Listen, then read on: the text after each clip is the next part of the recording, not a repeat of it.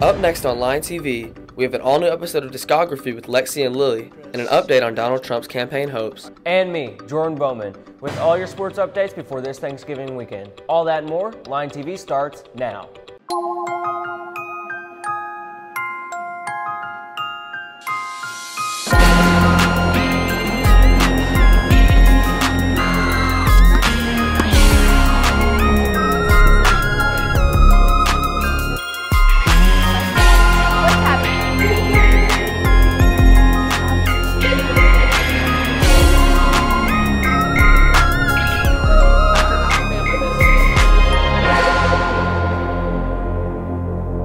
Friday, Searcy. It's been a great week. I'm London King. And I'm Linus Bowman. Now it's time for all of Searcy High School's news and announcements.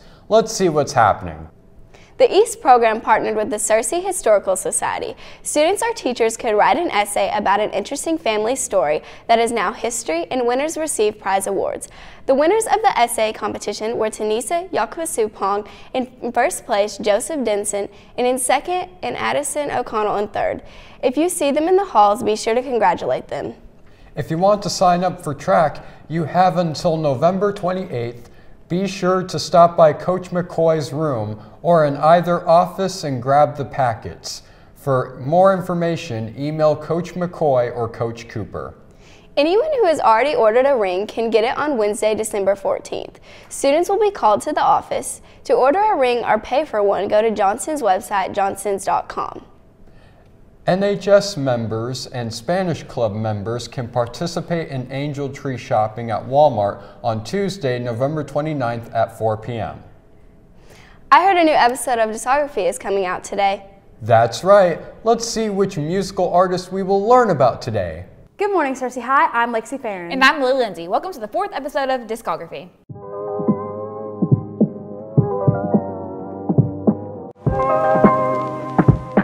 On this episode of Discography, we're going to be discussing someone a little unexpected. We've asked you to email us any requests, and boy, did y'all follow through. After many, many requests, we will be discussing Yung Gravy. Matthew Hurry, aka Yung Gravy, started making music on SoundCloud in early 2016. He released many trap hip hop songs with samplings of music from the 50s and 60s that gave him a very distinct sound. Later in 2016, he released his first album, Thanksgiving Eve, but the album only got a few thousand streams in that year. It wouldn't be until his next album in 2018, Snow Cougar, where we really saw him make it into the spotlight. For sure. On this album, he released fan favorites like Knockout, Clock, and the song that really got his name out there, Mr. Clean. Mr. Clean. Gravy, why you flow so mean? Within the first year of Mr. Clean's release, it got over 90 million streams on Spotify, reaching 220 million streams 2022. In 2019, he released his album Sensational, where he started to collaborate with big names like Baby No Money and Little Baby. His most popular songs from this album include Alley Oop, Whip a Tesla, and Gravy Train. In 2020, Yung Gravy released his fourth album, Gasanova. He released hits like Martha Stewart, Miami Ice, and Oops, his third most popular song to date with 140 million streams. His next album, Marvelous, was released pretty recently on October 28. He already has some fan favorites, including C'est La Vie, Dancing in the Rain, Mrs. Worldwide, and of course, Betty. All I know is chase this dough and get money, nigga. The single Betty, released four months before Marvelous, it became a phenomenon, receiving over 200 million streams and putting Gravy on the Billboard's Top 100 chart for the first time, reaching a rank of 42. Wow, that's pretty impressive. Who would have thought this SoundCloud producer would become so successful? I know. I wonder what some of the people here at the high school think about him. Well, let's see what they had to say. Are you aware of an email that you may have sent me last week? Yes. Okay, do you know who uh, Yung Gravy is? Um, I really don't know who Yung Gravy is. Nope. Interesting. Anything to say about that, Jacob? Uh, no comment. Easton, do you happen to know who Yung Gravy is? I've heard of him once or twice. Do you mind if I play a little bit for you? Ileana, what is your favorite thing about Yung Gravy? His face. My favorite part is seeing what y'all have to say. Me too. So make sure to send in any requests that y'all have. Well, that's the end of this episode of Discography. See you next time, Searcy. Bye! Well, London, I think I have some new songs to add to my playlist. Me too. But before we start jamming, let's take a look at some current events. Former President Donald Trump on Tuesday launched his third campaign for the White House. As Trump has spent the last months teasing his return, aides have been sketching out the contours of a campaign that is being modeled on his 2016 operation, when Trump and a small clutch of aides defied the odds and defeated far better funded and more experienced rivals by tapping into deep political fault lines and using shocking statements to drive relentless media attention. Army General Mark Milley, chairman of the Joint Chiefs of Staff, said his staff tried to get Russia's top-ranking military official Gen Valery Gerasimov on the phone to discuss the incident with no success. Milley didn't elaborate on the efforts, but the lack of communication raises concerns about high-level U.S.-Russian communications in a crisis. A strike against Poland, a NATO member, could be a risk a large conflict if it turned out that Russia had launched the strike.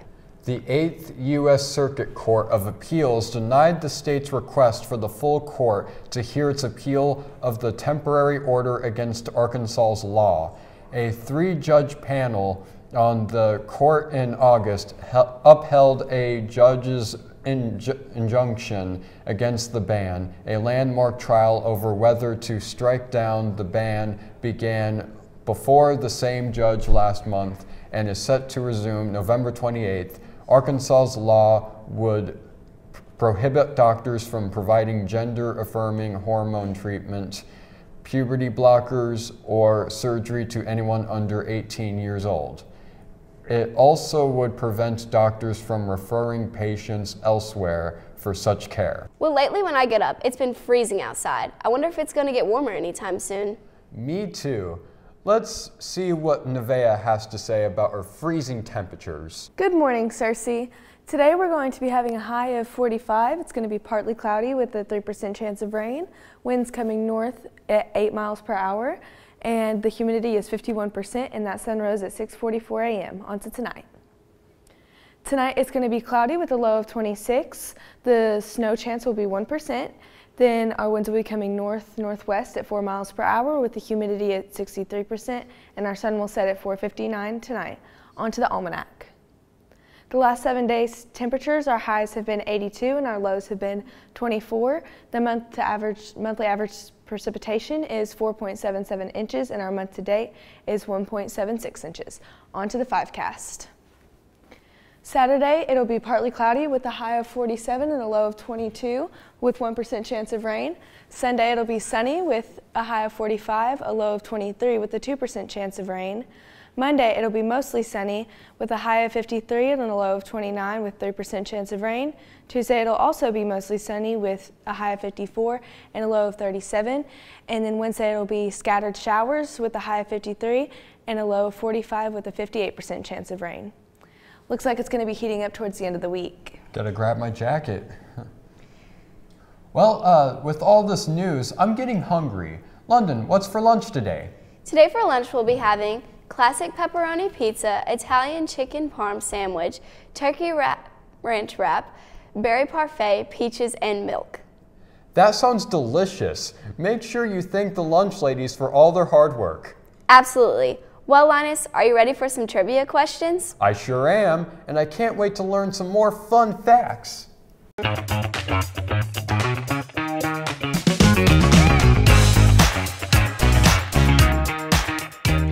Hey guys, I'm Nevaeh. And I'm Sadie. And we're here with What, what Do You Really know? know? The segment where we go around and ask students and teachers trivia questions to see what they truly know. We're back to kick it off with this episode, the answer to what year did Washington, D.C. become the U.S. capital? The answer is 1790? Well, I think it's time to hop into some more trivia. What was Walt Disney afraid of? Mice, cows, clowns, or dogs? Dogs. How many Harry Potter books are there and how many Harry Potter movies? um, seven books, eight movies. What was Walt Disney afraid of? Mice, cows, clowns, or dogs? Clowns. How many times did Ross get divorced on Friends? Five times, one time, six times, or three times? Six. What was Walt Disney afraid of? Mice, cows, clowns, or dogs? Mice. It's ironic. Walt Disney created the empire around something he was afraid of. I know, pretty inspiring if you ask me. Yeah, definitely. Now the answer to how many times Ross from Friends got divorced. The answer is three. I couldn't keep up with all the breaks in between. Good one, Nevaeh. Next, we have some history trivia. In which state is it illegal to catch mice? Virginia, Ohio, India, or South Dakota? Uh, Virginia. In which state is it illegal to eat fried chicken with a fork? Tennessee, Kentucky, Florida, or Georgia? Kentucky. In which state is it illegal to catch mice? Virginia, Ohio, India, or South Dakota? Mm. South Dakota? In which state is it illegal to eat fried chicken with a fork? Tennessee, Kentucky, Florida, or Georgia? Georgia. In which state is it illegal to catch mice? Virginia, Ohio, India, or South Dakota? South Dakota. How do you even begin to eat fried chicken with a fork? I didn't think it was possible. As usual, we're going to leave you with the trivia question. What two planets in our solar system have no moons? We'll have the answer to that next time, Searcy. Bye. Those really stumped me. Me too. I'm so stoked about our basketball season this year. Me too. And Jordan is here to give us some updates about just that.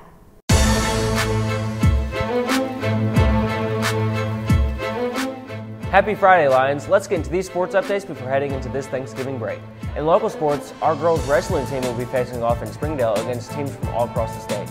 The girls have won state for two years straight, and they're looking for a third this season.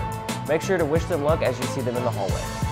The Searcy basketball's team officially kicked off on Tuesday when the boys went up against the Maumelle Hornets. The boys going down 13-0 at the start of the game, but coming back to make it a close game till the fourth, but unfortunately losing 69-72, making their record for the season 0-1.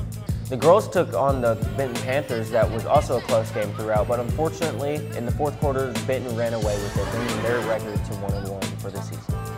In national news, that in F1, driver George Russell takes his first victory in the Formula One career with his Mercedes alongside with his teammate Lewis Hamilton, with them winning a double podium.